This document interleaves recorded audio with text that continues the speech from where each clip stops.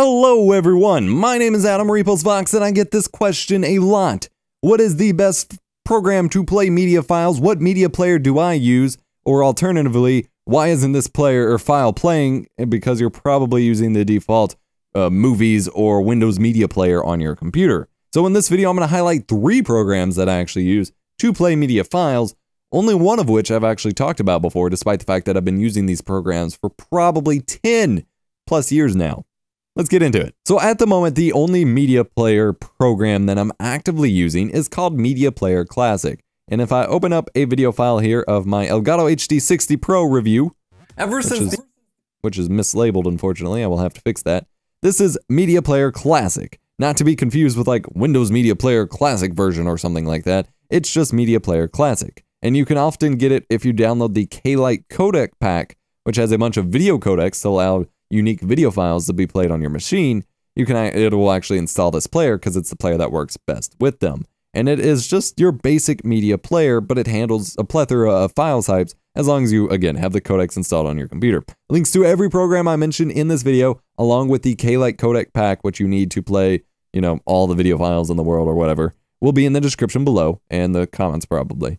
But this is pretty straightforward. You have basic controls down here, play, pause, stop, back forward, fast forward, stuff, skip frame, mute like I just did here, along with time codes, and then you can click on it to pause it and double click to full screen and all that jazz. And then it says that it's playing with the hardware renderer. And it will just play your basic video files. And then you can choose audio tracks if you have multiple language video or video files, video tracks if somehow you actually have multiple video track files, which does happen, and then subtitle tracks, uh, renderer settings. That's such a funny word, renderer. You can do a tearing test for VSync, display the current time, show the file name, all this different control over it, but it is a very reliable and very stable player. But there there's a difference between this and the other program that I'm going to be showing you in just a second. So this is Media Player Classic. You can get it from mpc-hc.org or if you get the K-Lite I didn't actually pull this website up in advance because I didn't think about it from codecguide.com, K-Lite Codec Pack you want just the basic or the standard, basic or standard, just download it and install it. It will install MPC-HC for you. The other media player that I use pretty regularly, but I'm not using as much at the moment, is called VLC Media Player, which you can get from videolan.org. This has always been my favorite one, and it, they have a native Windows 8, Windows 10 app, Android apps, iOS app, Mac app, Linux app, Windows desktop app. It's customizable with skins, uh, you can you can do video conversions in it. Here, I'll open it up. So if I right click, open with VLC. Nope, that's VLC for Windows Store. Okay, so here's a preview at the Windows 10 specific version. If it'll work, I've never actually tried this. I have no clue how well it works. This is the Windows 10 version. Ever since the original Elgato Game Capture 8. There we go. This is the Windows 10 version. It looks just like the Movies app, but you're not using Windows app which I guess makes sense. Double click to full screen. Got big tablet-like controls here. Nowhere near the same amount of functionality, I can already tell, but that's okay. And then you have this charm setting menu. Okay, we don't want this. We want the real VLC. The real VLC. Open with VLC Media Player. Okay, Let's resize this bad boy because that is way too big of a window and it's going off my monitor now. Windows hates multi-monitor setups once you go past two.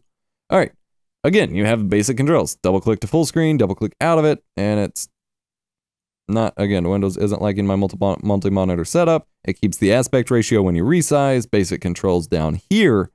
But then if you go up here to media, you can open you can open up a stream. So if you get a stream URL, you can open up internet radio stations, live streams. Some people even watch their Twitch streamers. They make like shortcuts to their Twitch streamers here and just pull up their Twitch streamers in this video so they can have individual windows of their favorite streamers. That's pretty interesting. And then you can actually stream your own video file from this and convert and save video files from this. But it's not very easy. It's very advanced, it's very convoluted compared to the standard programs we have today. And its limiting factor is that it does not play disc spec well. It doesn't have great compatibility for Blu-ray. It doesn't have any compatibility for Blu-rays, which neither does Media Player Classic. And it doesn't, it's never worked great for me for DVDs, though I do use it to play DVDs.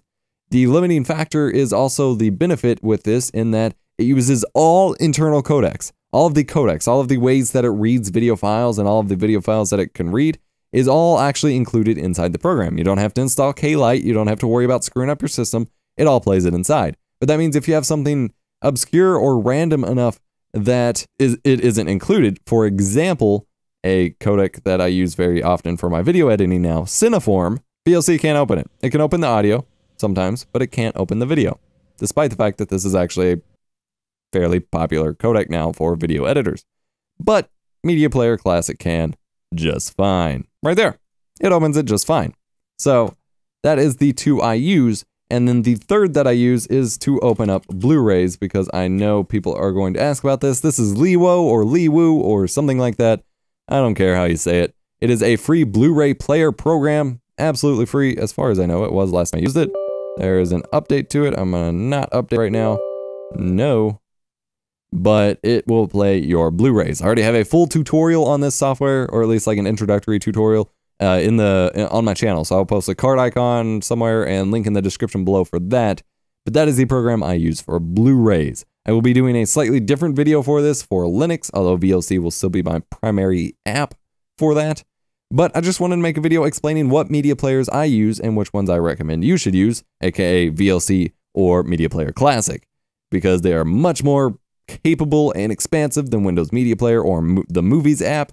And if you're using something like OBS and you can't get your audio track to work, like so many people have told me so far, which has inspired this video, that, oh, I recorded to MP4 in OBS and now I don't have audio. No, Windows Media Player just isn't reading your audio, but if you open it up in VLC or Media Player Classic, you got audio. So hope this video was helpful for you. If it was, smash the like button, get subscribed for more awesome videos, tech content. I'm here to make tech content easier for you and I will catch you in a future video.